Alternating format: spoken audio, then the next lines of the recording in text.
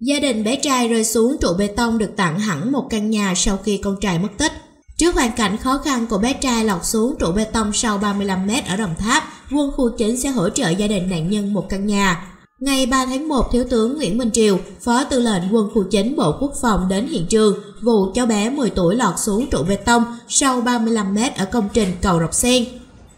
Thông tin về báo chí ngay khi hay tin bé gặp nạn quân khu chính đã yêu cầu Bộ Chỉ huy quân sự tỉnh Đồng Tháp sử dụng lực lượng tại chỗ gồm dân quân tự vệ, bộ đội đến hỗ trợ cho lực lượng cứu hộ. Lữ đoàn công binh quân khu cũng sử dụng lực lượng và phương tiện cứu hộ cứu nạn gồm xe cứu hộ đa năng, các phương tiện các chuyên dụng kịp thời đến hiện trường để sẵn sàng tham gia các công việc ban chỉ đạo giao.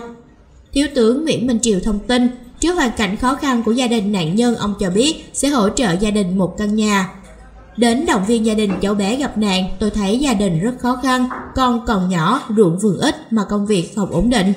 Được sự đồng ý của Ban Thường vụ Bộ Tư lệnh, quân khu chính sẽ hỗ trợ một căn nhà cho gia đình. Sau khi vụ việc ổn định, Bộ Chỉ huy quân sự tỉnh Đồng Tháp cùng các cơ quan có liên quan tiến hành khảo sát, triển khai xây dựng nhà để gia đình sớm có nơi ở ổn định và đề xuất phương án hỗ trợ cho gia đình có công ăn việc làm, sớm ổn định cuộc sống, Thiếu tướng Nguyễn Minh Triều cho biết.